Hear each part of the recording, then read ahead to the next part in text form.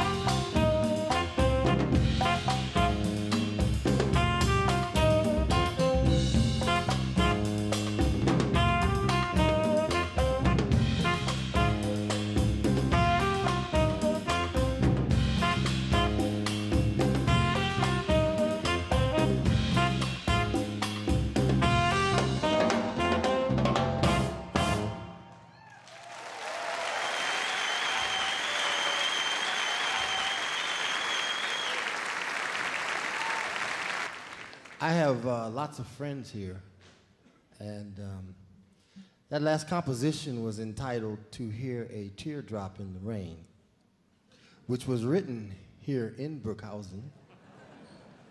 Yeah? At a place called the Salzburger Hof, I think it is. A good friend of mine, Peter, you know, who runs it, and another good friend of mine who I wrote that uh, composition for. Was kind of a sad affair. It was actually for, at her funeral, but maybe she was friends with, uh, I'm sure some of you, her name was Gerda Obud.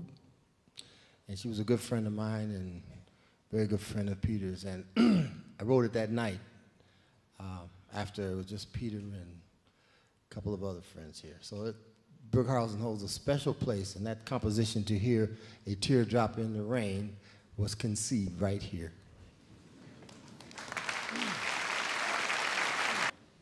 Before that, we did um, uh, a, a, a, composition entitled La Marqueta.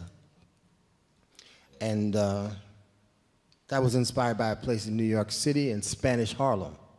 It's called La Marqueta. It's a place, a bazaar, where in the summertime it opens up and a lot of people go out and have a lot of good times there. We're going to continue with another composition, and it's titled Once Again.